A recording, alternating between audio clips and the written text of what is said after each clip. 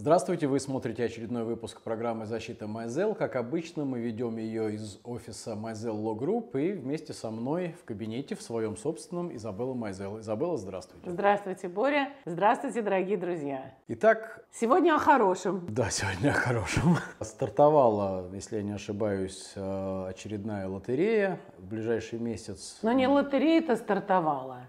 А сегодня только стартовала запись для участия в лотерее. То есть сегодняшнего... Регистрация. Да, с сегодняшнего дня можно заполнить заявку и, так сказать, отправить ее с расчетом на удачу. Да. Что посоветуете? Ну, во-первых, наверное, скажу, что сегодня, 6 октября, в 12 часов по полудню, открылась регистрация для участия в лотерее 2023 года. То есть это год, который начинается 1 октября 2022 года. Так?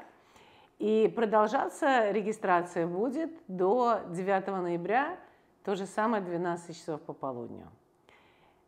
Рекомендовано в первую очередь, как мы каждый год об этом говорим, и как Department of State, то есть Госдепартамент говорит об этом каждый год, рекомендуется стараться заполнить анкету и подать первые дни, потому что в последние дни будет огромная нагрузка на интернете, фотографии не будут лоудиться, и все это будет очень проблематично, и люди просто могут пропустить этот год регистрации в лотерее.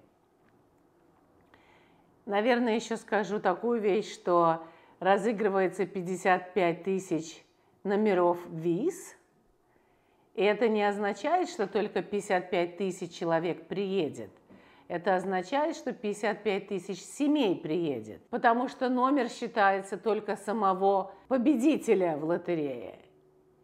Члены семьи в подсчет не входят. Так? И поэтому э, нужно стараться не выиграть, так выиграть. Но это же лотерея all the way through. То есть, если человек находится за пределами страны, то лотерея вплоть до вызова на интервью. Если он находится на территории страны, это совсем другая история. И мы, наверное, поговорим об этой другой истории в нашей следующей программе. То есть мы поговорим об этом, и я расскажу, что нужно сделать и как для того, чтобы получить грин-карту на территории Соединенных Штатов, если человек ее выиграл. Да? А, а если человек не имеет визы, чтобы приехать в Соединенные Штаты, а находится за пределами страны. Ему нужно ожидать интервью, и поэтому это лотерея до самого конца. Но об этом рано говорить. Мы давайте будем говорить о том, что нужно, как нужно подавать документы и что нужно подавать вместе с документами. Да, и на что обратить внимание во время заполнения анкеты. Первое и самое главное внимание нужно обратить на то, чтобы все члены семьи были указаны в этой первичной анкете.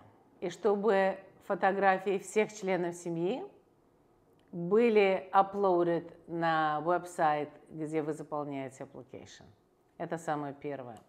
Потому что есть очень много случаев, когда члены семьи не были вписаны по абсолютно глупой причине, что не было фотографии, и поэтому детей не указывают люди, и поэтому э, не указывают супругов – это отвратительно, потому что потом это возникает огромнейшие проблемы, вплоть до депортационных процедур, потому что спустя годы люди решаются все-таки подавать на членов семьи петиции на воссоединение, подают на гражданство, указывают этих членов семьи. У меня были неоднократно такие дела, когда вместо получения гражданства – люди оказывались в депортационной процедуре в иммиграционном суде. И поэтому абсолютно важно вписать всех членов семьи и представить все фотографии всех членов семьи, которых вы указываете. Это самое главное. Второе, что немаловажно. Дорогие друзья, пожалуйста, заполняйте эти анкеты сами. Не доверяйте никому этого делать. Потому что есть очень много случаев, когда всякие более аферистичные компании, может быть, полуаферистичные, заполняют application один раз, анкету, а потом каждый год повторяет эту анкету, не зная состава семьи человека, и этим самым создают огромнейшие проблемы. Если okay. человек потом выигрывает, у него несоответствие личных данных и куча проблем. Ну, если человек дал свои данные, когда ему было 18 лет, и это полулегальная богадельня, каждый год заполняет его applications. Для чего? Для того, чтобы потом вымогать денег с него. А он уже давно женился, развелся, родил троих детей и так далее, и никто не вписан.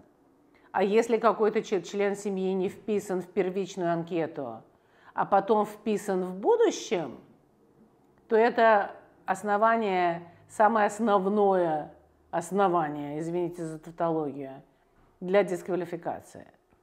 Поэтому нельзя никому доверять свою информацию для того, чтобы кто-то заполнял эти первичные анкеты. Это номер один. Номер два. Участие в лотерее бесплатно, и государство всегда об этом говорит, что участие в лотерее бесплатно, никому нельзя и не нужно платить никаких денег. Нельзя и не нужно регистрироваться ни на каких сайтах, платить 15 долларов, полторы тысячи или 25 тысяч. Это все неправда, это все афера и обман. Участие в лотерее бесплатное. И каждый грамотный человек может зайти на интернет, на веб-сайт Госдепартамента и заполнить эту анкету. Электронный адрес этого сайта, где можно заполнять эту анкету, dvprogram.state.gov.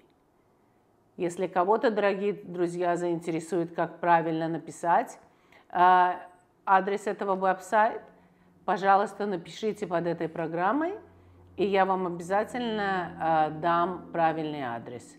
Еще раз, dvprogram.state.gov. На этом сайте можно заполнить анкету и тем самым участвовать э, в розыгрыше лотереи 2023 года. Так, по ощущениям все понятно. Единственный момент, на кого человек должен заполнить анкету. Кого включить, вы да, имеете в виду, каких включить? членов семьи? Да. Супруги, дети до 21 года и дети, которые были в предыдущих браках до 21 года. Детей, которые имеют грин-карту и гражданство, включать не нужно. То есть потому что им не нужно уже получение грин-карты. Ну, кажется, мы основное сказали. Думаю, будем завершать. Да, конечно. Итак, на этом нынешняя программа завершается. Если какие-то остались вопросы по поводу лотереи, заполнения и так далее, не стесняйтесь, э, пишите свои вопросы под этой программой, и Изабелла всегда вам ответит. Правильно я говорю? Обязательно. Люди знают, что можно писать под этой программой, что можно писать на Фейсбуке, что можно писать электронной почте. То есть, слава богу, вся информация открыта. Дорогие друзья, лайкайте наши каналы. Я за да. вас работаю сегодня. Не забывайте делать вот такими штучками там да. внизу. Давайте скажем, подписывайтесь на наши каналы. Кольцов ТВ и Адвокат Белла. Лайкайте страницу мою на Фейсбуке MyZLO Group, где я публикую все новости, касающиеся иммиграционного права и процедуры в Соединенных Штатах. А вам желаю, дорогие друзья, добра, удачи, благополучия – и всего самого доброго. thank you